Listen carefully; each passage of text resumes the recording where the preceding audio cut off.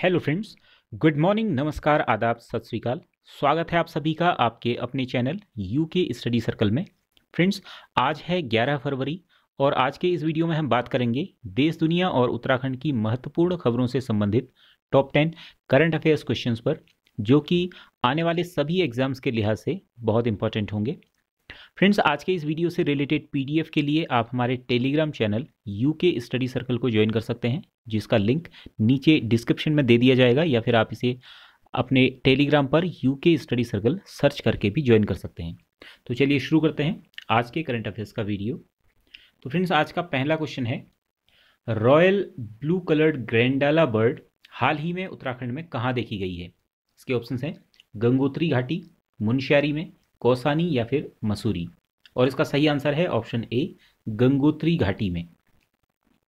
आमतौर पर सिक्किम की घाटियों में देखी जाने वाली ग्रैंडाला बर्ड हाल ही में इसे उत्तराखंड की गंगोत्री घाटी में देखा गया है। विंटर सीज़न में इस क्षेत्र में स्नो लेपर्ड भी अच्छी खासी संख्या में देखे जाते हैं और इसीलिए वन विभाग द्वारा इस क्षेत्र को स्नो लेपर्ड कंजर्वेशन सेंटर के रूप में विकसित किए जाने की भी योजना है। और अब जब यहाँ पर पर्यटकों की जो पहली पसंद है, ग्रेंडाला बर्ड जो है, ये पर्यटकों और जो बर्ड वॉचर्स होते हैं उनकी पहली पसंद मानी जाती है और ग्रैंडाला बर्ड के इस क्षेत्र में पाए जाने के कारण अब जो है इसे जो योजना थी स्नो लेपर्ड कंजर्वेशन सेंटर के रूप में बनाए जाने की, उस योजना को और ज़्यादा बल मिलेगा। ये जो ग्रैंडाला बर्ड है, ये आमतौर पर उच्च और मध्य हिमालयी क्षेत्रों में लगभग नब, नौ हज़ार फीट के आसपास की ऊंचाई पर पाई जाती है और विंटर क्षेत्रों में या निचले क्षेत्र में माइग्रेट करती है। और गंगोत्री घाटी में ये लगभग 2000 फीट की ऊंचाई वाले गंगनानी और डबरानी क्षेत्रों में देखी गई है। और इसके यहाँ देखे जाने का जो मुख्य कारण माना जा रहा है, वो इसका पसंदीदा भोजन। एक तरह की झाड़ियाँ होती हैं जहाँ, जिन्हें स्थानीय भाषा में आमिल झाड़ियाँ कहा जाता है और, या फिर इनका नाम सी बकथॉन भी इनका नाम कहा जाता है। तो इसके लिए ग्रैंडाला बर्ड यहाँ पर इन घाटियों में आ रही है। पढ़ते हैं आज के दूसरे क्वेश्चन की तरफ़। हाल ही में उत्तराखंड क्रिकेट टीम के किस कोच ने अपने पद से इस्तीफा दे दिया है? ऑप्शन है महिम वर्मा, इकबाल अब्दुल्ला, वसीम जाफ़र या फिर कुणाल चंदेला। और इस क्वेश्चन का सही आंसर है ऑप्शन सी, वसीम जाफ़र ने। अदर ऑप्शंस में यहाँ महिम वर्मा, ये उत्तराखंड जो क्रिकेट एसोसिएशन है, उसके सचिव हैं। इकबाल अब्दुल्ला, ये उत्तराखंड क्रिकेट टीम के कप्तान थे इससे पहले। और कुणाल चंदेला कुणाल चंदेला को वर्तमान में इन्हें अब नया कप्तान बनाया गया है।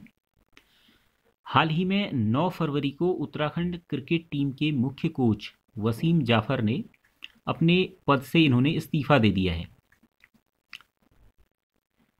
ये हैं वसीम जाफ़र। वसीम जाफ़र को पिछले साल ही अगस्त 2020 में इन्हें उत्तराखंड क्रिकेट टीम के मुख्य कोच के रूप में ज़िम्मेदारी दी गई थी। हालाँकि इनके साथ जो कॉन्ट्रैक्ट किया गया था, वो आईपीएल के बाद नवंबर 2020 में किया गया था। वसीम जाफ़र ने सीएयू के जो पदाधिकारी हैं ऑफिसर्स हैं, उन पर ये आरोप लगाया कि खिलाड़ियों के चयन में जो है उन्होंने मनमानी की, इनका कोई रोल उसमें नहीं रखा गया और अपनी उपेक्षा के चलते भी इन्होंने इस्तीफ़ा दिया है। बात करें CAU की तो सी का जो पूरा नाम है, क्रिकेट एसोसिएशन ऑफ़ उत्तराखंड, ये इसका जो आधिकारिक लोगो है CAU की स्थापना की गई थी 2006 में और 2019 में इसे BCCI से मान्यता प्राप्त हुई। CAU का मुख्यालय रायपुर देहरादून में है। वर्तमान में इसके अध्यक्ष हैं जोत सिंह गुंसोला और सचिव हैं माहिम वर्मा। अगला क्वेश्चन है, हाल ही में उत्तराखंड के किस ज़िले में कत्यूरी कालीन पाँच मुँह वाली सुरंग की खोज की गई है? इसके ऑप्शन हैं चंपावत में, अल्मोड़ा में, पिथौरागढ़ या फिर चमोली? और इसका सही आंसर है ऑप्शन बी, अल्मोड़ा में। हाल ही में अल्मोड़ा के लखनपुर क्षेत्र में पाँच मुँह वाली सुरंग का पता लगा है। पुरातत्व विभाग के अधिकारियों के अनुसार इस सुरंग का निर्माण आठवीं और नवीं शताब्दी के बीच कत्यूरी शासकों द्वारा करवाया गया था। सुरंग के अंदर गणेश जी सहित अन्य देवी देवताओं के चित्र मिले हैं, इसलिए इसे धार्मिक महत्व का भी माना जा रहा है। साथ ही साथ इसे उस समय कत्यूरी शासकों ने सामरिक महत्व के कारण भी इसका निर्माण किया जा रहा, किया गया होगा, ऐसा भी माना जा रहा है। और शोध और पर्यटन के हिसाब से इस सुरंग को बहुत ज़्यादा महत्व का माना जा रहा है। अगले क्वेश्चन की तरफ़ बढ़ते हैं। आज का चौथा क्वेश्चन है, जम्मू कश्मीर में चल रही नेशनल विंटर गेम्स में उत्तराखंड के किस खिलाड़ी ने गोल्ड मेडल हासिल किया है? इसके ऑप्शन हैं, सुहानी ठाकुर, महक कमाण सुमन सिंह या इनमें से कोई नहीं। और इस क्वेश्चन का सही आंसर है ऑप्शन ए सुहानी ठाकुर ने।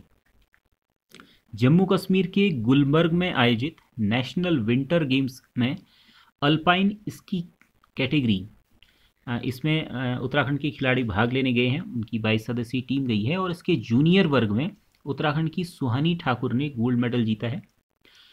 इसी अल्पाइन स्की कैटेगरी के जूनियर वर्ग में ही महक कवाण ने भी सिल्वर मेडल हासिल किया है। महक कवाण वही हैं जिन्होंने पिछले साल ओली में आयोजित शीतकालीन खेलों में सिल्वर सिल्वर मेडल जीता था और पिछले साल के ही खेलो इंडिया विंटर गेम्स में गुलमर्ग में भी इन्होंने दो गोल्ड मेडल हासिल किए थे।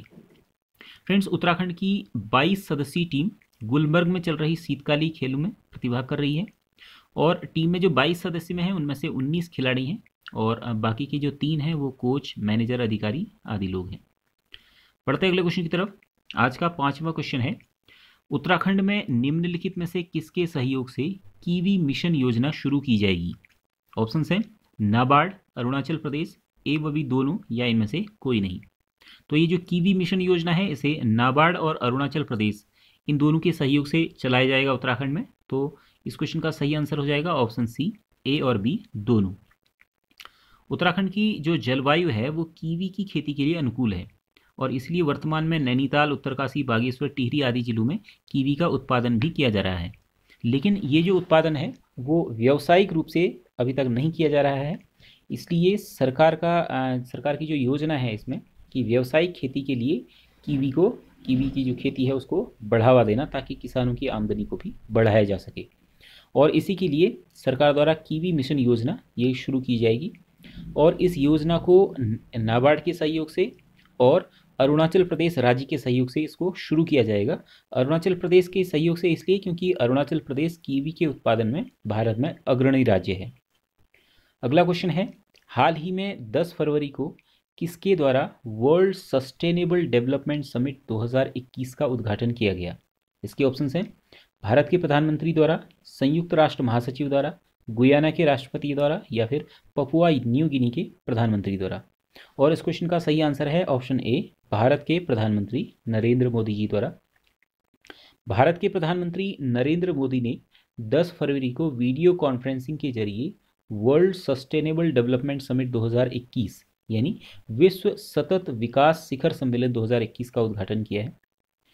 ये जो इवेंट है, ये कार्यक्रम है, ये एक फ्लैगशिप इवेंट है एनर्जी एंड रिसोर्सेज इंस्टीट्यूट की तरफ़ से।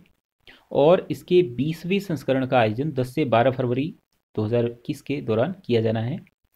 इस बार इस कार्यक्रम की जो थीम है, वो है सबके लिए सुरक्षित और संरक्षित पर्यावरण और हमारा साझा भविष्य। इस सम्मेलन में संयुक्त राष्ट्र उप महासचिव के साथ साथ गुयाना, पपुआ न्यूगिनी मालदीव आदि देशों के प्रमुख या उनके प्रतिनिधि उपस्थित रहेंगे। इस सम्मेलन में ऊर्जा, उद्योग संकट, अनुकूलन, जलवायु, स्वच्छ महासागर, वायु प्रदूषण आदि विषयों पर चर्चा की जाएगी। अगला क्वेश्चन है, विश्व व्यापार संगठन के अगले महानिदेशक के रूप में किसे चुना गया है? इसके ऑप्शन है, Robert Azevedo, Gita Gopinath, Kristalina Georgieva या फिर नागोजी ओकोंजो इवेला। और इस क्वेश्चन का सही आंसर है option D Ngozi Okonjo Iweala को। नाइजीरिया की अर्थशास्त्री हैं नागोजो, नागोजी उकोंजो इवेला। इन्हें विश्व व्यापार संगठन ने अगले महानिदेशक के रूप में विश्व व्यापार संगठन द्वारा चुना जाएगा। इनका चुना जाना लगभग तय हो गया है। वे इस संगठन का नेतृत्व करने वाली पहली महिला होंगी और साथ ही पहली अफ्रीकी भी होंगी, यानी अफ्रीका से पहली व्यक्ति होंगी। नागोजी इस पद पर रॉबर्टो अजेवेदो का स्थान लेंगी। इससे पहले जो डब्ल्यूटीओ के महानिदेशक थे, रॉबर्टो अजेवेदो, इन्होंने हालाँकि अगस्त 2020 में ही अपना पद छोड़ दिया था। फ्रेंड्स, विश्व व्यापार संगठन या वर्ल्ड ट्रेड ऑर्गेनाइजेशन, ये विश्व व्यापार संबंधी अवरोधों को दूर कर वैश्विक व्यापार को बढ़ावा देने के लिए बनाया गया एक अंतर्राष्ट्रीय संगठन है। इसकी स्थापना की गई थी एक जनवरी उन्नीस को, और इसकी जो स्थापना की गई वो मराकस समझौते के तहत की गई थी। इसका जो मुख्यालय है, वो जेनेवा, स्विट्जरलैंड में है और वर्तमान में इसके सदस्य देशों की संख्या है एक अगला क्वेश्चन है, हाल ही में किस देश द्वारा अपने मार्स मिशन होप प्रोब को सफलतापूर्वक मंगल ग्रह की कक्षा में स्थापित किया गया है? इसके ऑप्शन हैं, अमेरिका, भारत, उत्तर कोरिया या संयुक्त अरब अमीरात। और इस क्वेश्चन का सही आंसर है ऑप्शन डी संयुक्त अरब अमीरात। संयुक्त अरब अमीरात यानी यूएई ने 9 फरवरी 2021 को एक इतिहास रचते हुए अपना अंतरिक्ष यान होप प्रोब, इसे सफलतापूर्वक मंगल ग्रह की कक्षा में स्थापित किया है।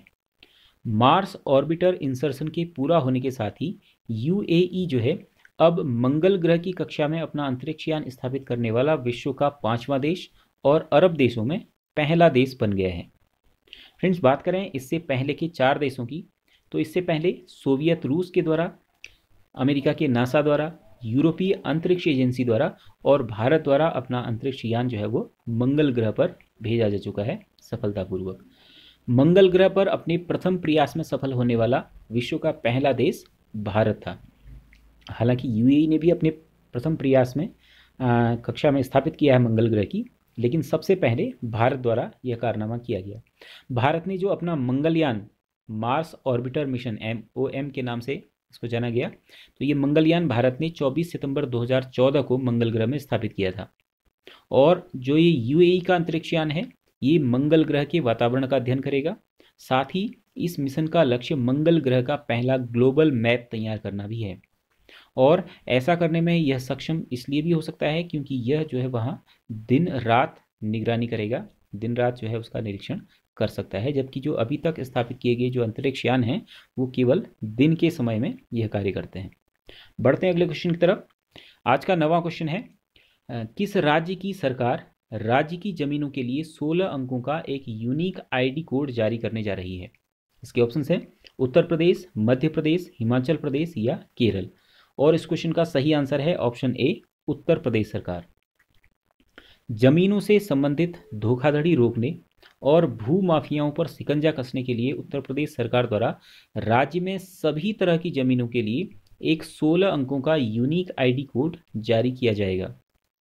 यह कार्य जो है वो राजस्व विभाग द्वारा किया जाएगा और इनके द्वारा सभी तरह की ज़मीनों, यानी कृषि प्रकार की, आवासीय प्रकार की और व्यावसायिक भूमि को चिन्हित किया जाएगा और उसके लिए एक यूनिक आईडी कोड जारी किया जाएगा जो कि 16 अंकों का होगा। इस आईडी कोड के ज़रिए संबंधित भूखंड की जानकारी कंप्यूटर या मोबाइल पर घर बैठे प्राप्त की जा सकेगी। यानी कोई खरीदार है उसे आ, कोई ज़मीन का कोई भूखंड खरीदना है और उसे पता करना है कि यह कोई विवादित भूमि तो नहीं है या कोई अन्य जानकारी पता करनी है तो इस कोड के ज़रिए जो है वो आसानी से पता कर सकते हैं घर बैठे। सोलह अंकों का जो ये कोड होगा इसमें पहले छः अंक यानी शुरू के एक से लेकर छः तक के जो अंक होंगे वो राजस्व ग्राम के आधार पर सात से लेकर दस तक के जो अंक होंगे, वो भूकंप की जो भूखंड होगा, उसकी गाटा संख्या के आधार पर। ग्यारह से चौदह तक के अंक जो होंगे, वो ज़मीन की विभाजन संख्या और पंद्रह से सोलह से के जो दो अंक होंगे, ये भूमि की श्रेणी को बताएँगे, यानी भूमि कृषि है, आवासीय प्रकार की है या व्यावसायिक प्रकार की भूमि है। आज का दसवां और अंतिम क्वेश्चन है, हाल ही में किन्हें एशियाई क्रिकेट परिषद का अध्यक्ष चुना गया है? इसके ऑप्शन हैं सौरभ गांगुली, जय शाह राजीव शुक्ला या अरुण सिंह धूमिल। और इस क्वेश्चन का सही आंसर है ऑप्शन बी जय शाह को। बीसीसीआई के सचिव हैं जय शाह और इन्हें हाल ही में 30 जनवरी 2021 को एशियन क्रिकेट काउंसिल एसीसी का अध्यक्ष चुना गया है। ये एसीसी के अध्यक्ष पर बांग्लादेश के नजमुल हसन पापून का स्थान लेंगे। बीसीसीआई के अनुसार 32 साल के जय शाह एसीसी के अध्यक्ष के रूप में नियुक्त होने वाले सबसे कम उम्र के व्यक्ति हैं। एसीसी एशिया का एक प्रशासनिक निकाय है, जिसमें वर्तमान में 24 सदस्य संघ हैं। यानी एशिया के जो देशों के जो क्रिकेट संघ हैं, इनमें से 24 सदस्य 24 जो है इसके सदस्य हैं। निकाय के सदस्यों में से प्रत्येक दो वर्ष में अध्यक्ष का चुनाव किया जाता है। यानी जो 24 सदस्य संघ इसके निकाय हैं, उन्हीं में से अध्यक्ष बनाया जाता है प्रत्येक दो वर्ष में। फ्रेंड्स एशियाई क्रिकेट परिषद की स्थापना की गई थी उन्नीस सौ तिरासी में। अब बारी है पिछले वीडियो के दौरान पूछे गए क्वेश्चन की। ये क्वेश्चन था। उत्तराखंड में निम्नलिखित में से कौन व्यक्ति ऐतिहासिक दांडी मार्च में शामिल नहीं हुए थे? और यूके स्टडी सर्कल के व्यूअर्स में से जिन लोगों ने इस क्वेश्चन का सही आंसर दिया, उनके नाम हैं नरेश रावत, प्रीति नेगी, राजकुमार चौहान, निर्मला माधवन, दीपी पुनेठा, अशोक कोहली अमित नेगी, नरेश कुमार, सरिता धामी, दीप बेडवाल, प्रियंका पाटनी, जीवन Joshi, Poonam Rawat, Poonam Pant, Himanshu Singh Dhami Pari Lamgadiya, LP physics classes Rajnish Rawat Prince Parihar, Vijay Kashyap, Usha Dhami, Diya Joshi, Kanchan, Kanchu कंचन शर्मा, सौरभ रावत, अनीता चंद, मुकुल बरगली, एकता चौधरी, राहुल कांडपाल, विवेक पनेरू, अजय जोशी, हेमचंद्र, हेमा रावत, महेंद्र राम, देवेंद्र सिंह कंडियाल, राजकमल रावत, मुनीश कुमार, अक्षय कंडारी, रविंद्र सिंह, ज्योति फरतियाल, जोशी सरिता, वल्लभ कापड़ी, हेमराज गेड़ा, देवेंद्र सिंह कंडियाल गुलाम फरीद, मंजीत बिस्ट और हिमांशु गुरुरानी। तो फ्रेंड्स आप सभी लोगों को बहुत बहुत बधाई और हार्दिक शुभकामना। और इस क्वेश्चन का सही आंसर है ऑप्शन डी बद्रीदत्त पांडे। यानी जो ऐतिहासिक दांडी मार्च किया गया था 1930 में, इसमें उत्तराखंड से ज्योतिराम कांडपाल, खड़ग बहादुर और भैरवदत्त जोशी, इनके द्वारा प्रतिभाग किया गया था और बद्रीदत्त पांडे जी के द्वारा प्रतिभाग नहीं किया गया था। जो दांडी मार्च है, ये महात्मा गांधी के नेतृत्व में अंग्रेज़ों द्वारा बनाए गए नमक कानून के विरोध में किया गया था। इस कार्यक्रम के अंतर्गत जो अठहत्तर सत्याग्रही थे उनके द्वारा 12 मार्च 1930 से 6 अप्रैल 1930 तक गांधी जी के नेतृत्व में अहमदाबाद के साबरमती आश्रम से दांडी तक, जो समुद्र तट पर दांडी गाँव है एक, वहाँ तक पैदल यात्रा की गई थी। और ये जो अठहत्तर सत्याग्रही थे, इनमें से तीन सत्याग्रही उत्तराखंड के थे भैरवदत्त जोशी ज्योतिराम कांडपाल और खड़ग बहादुर। इन सत्याग्रहियों के द्वारा 6 अप्रैल 1930 को जब इनकी यात्रा पूरी हुई दांडी तक की यात्रा तो वहाँ पर इन्होंने नमक कानून बन, नमक बनाया और नमक कानून को तोड़कर अपना विरोध दर्ज किया था। फ्रेंड्स अब अंत में बारी है क्वेश्चन ऑफ़ द डे यानी आज के क्वेश्चन की। तो आज का क्वेश्चन है उत्तराखंड राज्य के संदर्भ में मुख्य केंद्रीय भ्रंश रेखा स्थित है। कहाँ स्थित है ये बताना है? इसके ऑप्शन हैं, बृहद हिमालय और मध्य हिमालय के बीच में, मध्य हिमालय और शिवालिक श्रृंखला के बीच में, शिवालिक श्रृंखला या तराई क्षेत्र के बीच में, और या फिर उपरोक्त में से कोई नहीं। फ्रेंड्स इस क्वेश्चन का आंसर आपको मालूम है तो हमें कमेंट बॉक्स में लिखकर ज़रूर बताइएगा। और साथ ही, आज का यह वीडियो आपको पसंद आया हो तो वीडियो को लाइक कीजिएगा शेयर कीजिएगा, और यदि अब तक सब्सक्राइब न किया हो तो चैनल को सब्सक्राइब भी कर लीजिएगा। साथ ही बेल आइकन प्रेस करके नोटिफिकेशन को ऑन कर लीजिएगा, जिससे जो हमारी नई वीडियोस जो भी होंगी, जब भी अपलोड होंगी तो उसका नोटिफिकेशन आपको तुरंत मिल जाएगा। तो फ्रेंड्स आज के वीडियो में इतना ही। मिलते हैं अगले वीडियो में। तब तक के लिए जय हिंद।